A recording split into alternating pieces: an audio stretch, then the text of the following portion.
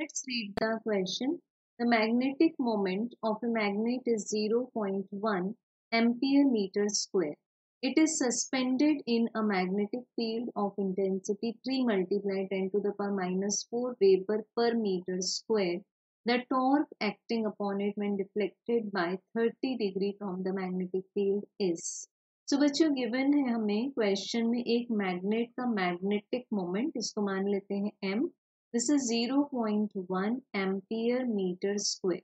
अब इसको हम जिस मैग्नेटिक फ़ील्ड में सस्पेंड करते हैं, उसकी वैल्यू गिवन है हमें three multiplied ten to the power minus four weber per metre square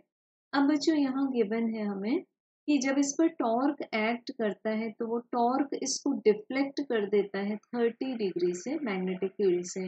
it means अभी मैग्नेट का मैग्नेटिक मोमेंट और मैग्नेटिक फ़ील्ड में एंगल बन रहा है थर्टी डिग्री का तो हमें फाइंड करना है उस समय टॉर्क एज टॉर्क को हम रिप्रेजेंट करते हैं एम बी साइन थीटा से. तो वैल्यूज़ पुट कर देंगे एम है ज़ीरो पॉइंट वन बी है three multiply ten to the power minus four and sine की वैल्यू को हम एक्सेप्ट करेंगे थर्टी डिग्री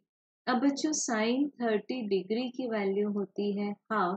सो so ये आ जाएगा हमारे पास में three divided by two multiply ten to the power minus five and because सभी जो क्वांटिटीज हैं वो एस आई यूनिट में गिवन है तो हमें टॉर्क की यूनिट मिल जाएगी newton metre S I